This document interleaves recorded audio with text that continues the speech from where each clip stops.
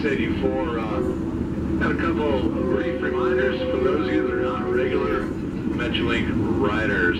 First of all, you are required at this time to board and ride all Metrolink trains to have a facial mask or a face covering on at all times. Please be respectful of your fellow passengers.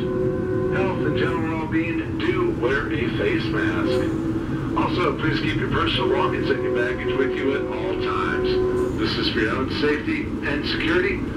Keep all items in your immediate seating area. And not least, please be considerate of the folks who will use the train after you. Do not place your feet anywhere on the seats or the seating structure at any time. We do appreciate and expect your help. Welcome aboard the 684. We've got Norwalk Santa Fe Springs coming up here in about 20 minutes.